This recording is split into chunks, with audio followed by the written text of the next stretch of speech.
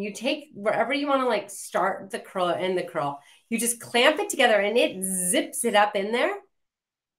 And then it beeps about six beeps.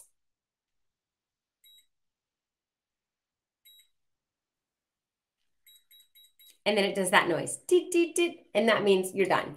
And then you just unclamp and you get a perfect curl every single time.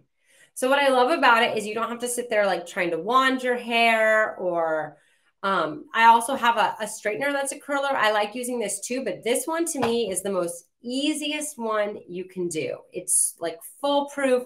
If you put too much hair in, it kind of tells you and it's beeping like, nope, you put too much, start again, and you can do it again. So it's one of the best hair curlers and it lasts forever.